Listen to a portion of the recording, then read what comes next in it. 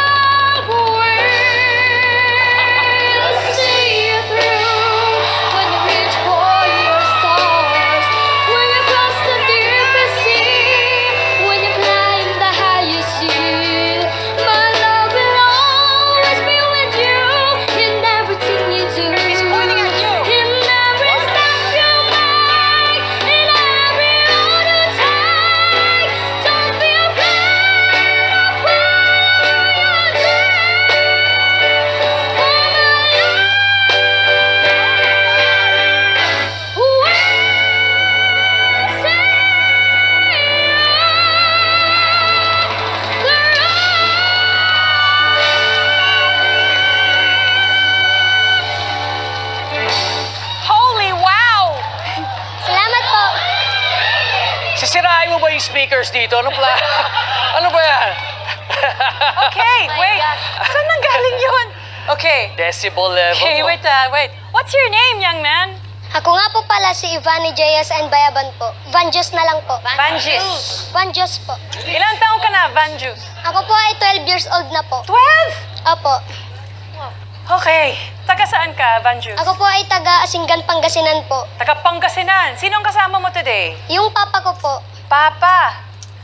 Yung mama mo, hindi mo kasama today? nasa Saan- ibang bansa po. Nasa ibang bansa. Okay. Ang aking papa po ay, siya po yung nag-aalaga po sa amin ng aking kapatid sa bahay at may malit po siyang welding shop po. Isa po siyang welder. At Welder? Ang, opo. At ang mami ko naman po, nandun po siya sa ibang bansa, sa Hong Kong po, OFW po siya. Ano yung trabaho niya doon? Ah, tagatulong po siya. Okay. So, Van Juice. Juice colored, Van Juice. Congratulations. Salamat po. Napaikot mo kaming tatlo. You got the juice. Anong klaseng boses ang ilong ka dyan? Parang wala kang limit.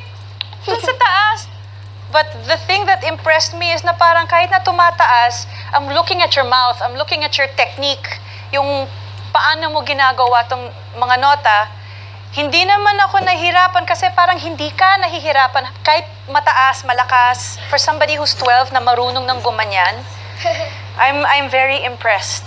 Salamat po. I'm just re- I, I hope you end up choosing my team because I'm, I'm sure that there's so much more. It's a technique side, no, that I can hopefully be able to share with you. I'm imp- I'm just impressed by this. Salamat po.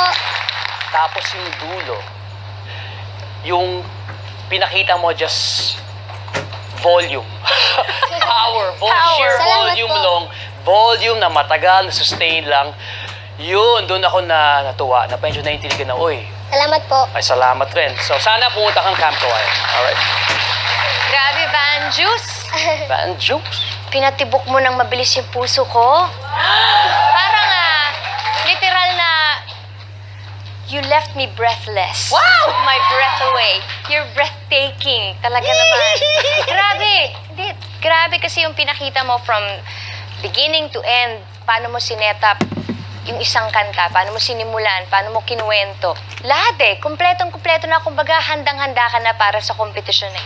Salamat Yung po. pananampalataya ko sa'yo, talagang solid. Ngayon pa lang, solid na solid na. At yun yung hinahanap ko na maging artist ko sa Team Sara.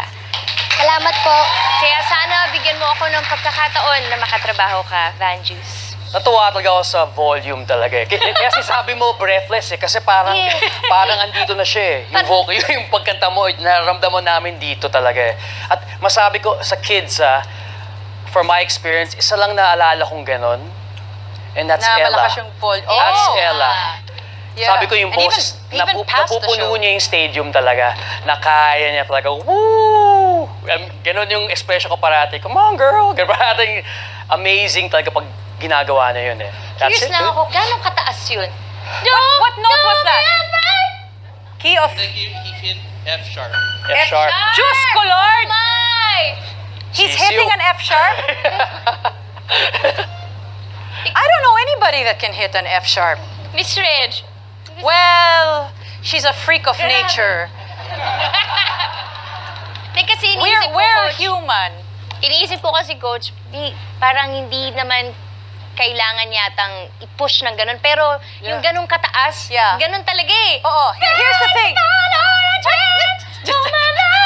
Yun talaga eh. Kung yun talaga yung natural sa kanya, kasi hindi naman siya mukhang nahihirapan hitting F sharps eh. Wala. So, these are Oo things you will oh. learn. Oo, yes, sir. I mean, Yes, I mean, ma'am. sana naman yung mga nanonood sa atin, we're talking, yes, we're talking terminal, tech terminology, technical. Technical, ter- uh, shush you. So, Boring. No, I mean- Boring. Right. whatevs, man. Tatakbo na isang ako. tingin lang, ano? Sama ng tingin.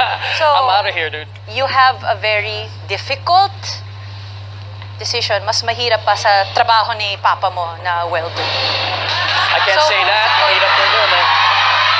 That's all. That's all.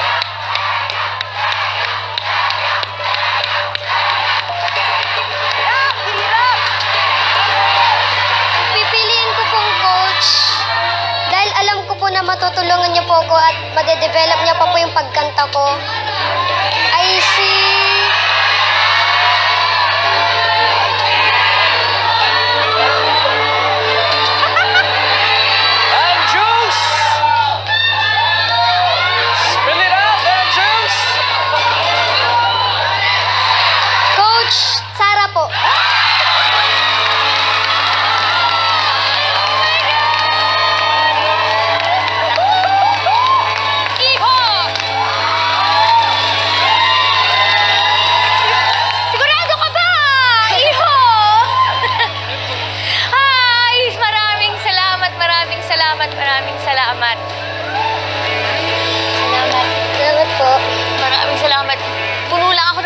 Pasasalamat. Yung, yung tiwala mo para sa akin, ah, papangako ko sa'yo na talagang gagawin ko ang lahat para may guide kita.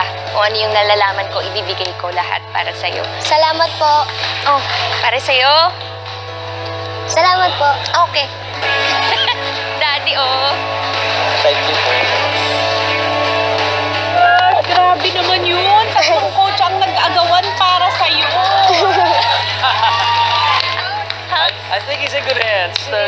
Congrats. Oh That's a good one. Best effort yan. That's a good one. That's a good